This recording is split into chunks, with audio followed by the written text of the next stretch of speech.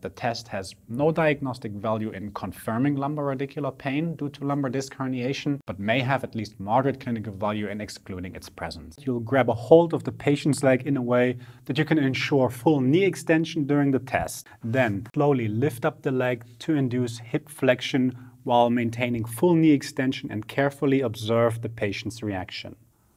The test is considered positive if the patient's familiar radicular pain is reproduced. We would expect to elicit symptoms fairly early on in a range below 60 degrees of hip flexion where we wouldn't expect to be limited by, for example, tight hamstrings. Stepwise modifications could also be used to evaluate symptom reproduction, for example, including the addition of ankle dorsiflexion at a point of discomfort to amplify symptoms or asking the patient to flex the neck to increase symptom response. Special test is only as good as your clinical reasoning and the results have to be evaluated within the entire clinical picture.